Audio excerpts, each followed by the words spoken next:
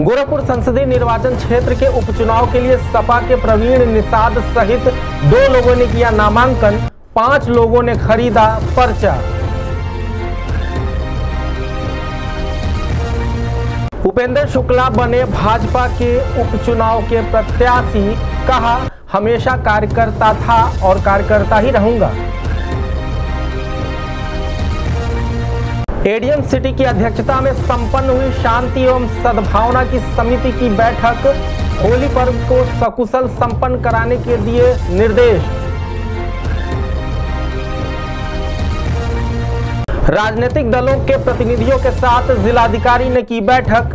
चुनाव को सकुशल संपन्न कराने पर हुई चर्चा। अमृत कला वेदिका में दूसरे दिन भी जारी रहा। चित्रकला प्रदर्शनी, कलाकारों ने कहा, अभिव्यक्ति का सबसे सशक्त माध्यम है painting. SP city Ganesh Saha, SP crime Alok Verma और एसपी ट्रैफ़िक के साथ व्यापारियों की हुई बैठक, दिया उनके समस्याओं के निस्तारण का भरोसा।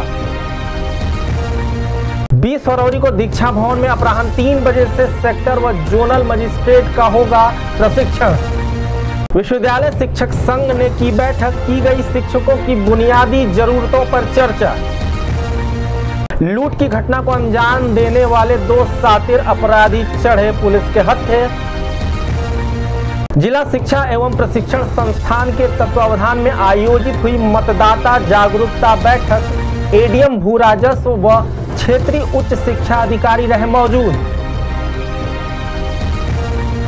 और रीजनल स्पोर्ट्स स्टेडियम में खेल छात्रावास के लिए शुरू हुआ ट्रायल